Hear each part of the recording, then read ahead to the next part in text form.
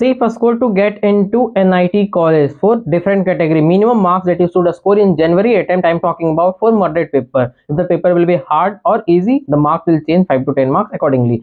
So if you want the CS branch and you are a general category student then you have to minimum a score around 150 marks minimum to get any type of NIT with CSE and if you are EWS at 140 also you will get. If you are a uh, OBC candidate again 140 and if you are a female of all these three category you can deduct 5 marks whatever i have told you. And for other category like sc category even at 100 marks you will get the cs for st category even at 90 marks you will get the uh, csc branch. And for pwd category even with 40 50 marks you will able to get the csc up to the last round means lower uh, nit college. For top one i will provide you the video next. So kindly subscribe the channel so that you will get the exact number what you have to target before the exam. So that you can score accordingly and prepare accordingly. Thank you